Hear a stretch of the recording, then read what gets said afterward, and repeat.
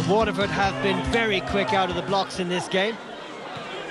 And here's Shane Duggan, who's back at the heart of things for the Blues. Kevin Lynch now. Not a bad cross. And onto it comes Elbouzedi, and that's a fine stop by Barry Murphy. The St. Pat's goal, leading a charmed existence in the first few minutes of this game. Holland takes the corner. O'Connor with the shot. It's half blocked. Down goes the Waterford player. The referee's whistle goes. Edgar Maltsevs from Latvia points to the spot. Though in truth, it's a pretty harsh penalty. And it's Michael O'Connor who'll have the chance. Sends Barry Murphy the wrong way. And after just six minutes, Waterford are deservedly in front.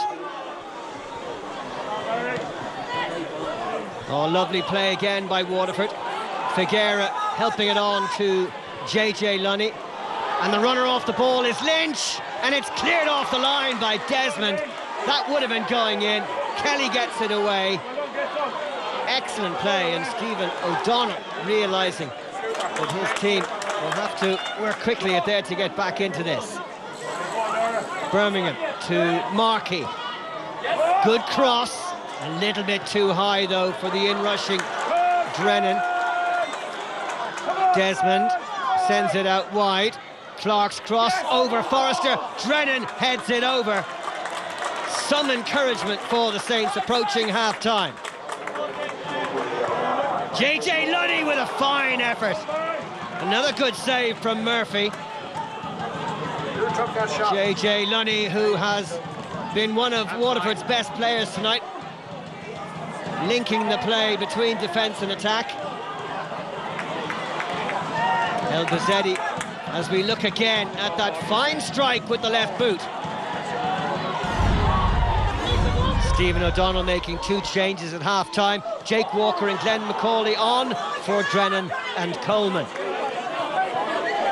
Pat's looking a little bit more lively now. Clark with some space. Good delivery. Comes to Hale. Oh, that wasn't far away. Connor was scrambling in the Waterford goal. Well, it's taken Saints a long time to join the party tonight, but they're having their best spell.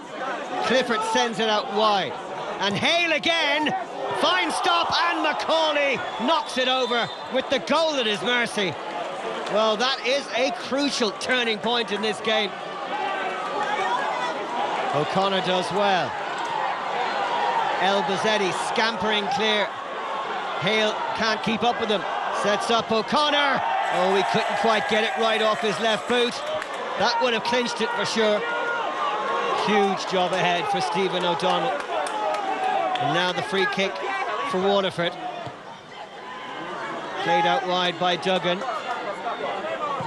Bones cross, and O'Connor makes it 2-0.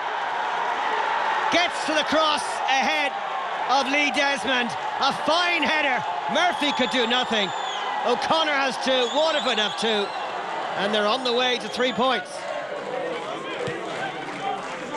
Will there be any consolation for St. Pat's? They need a goal badly here. Here's Markey, and now McAuley, and Connor forced to make the save. Good effort by the 19-year-old.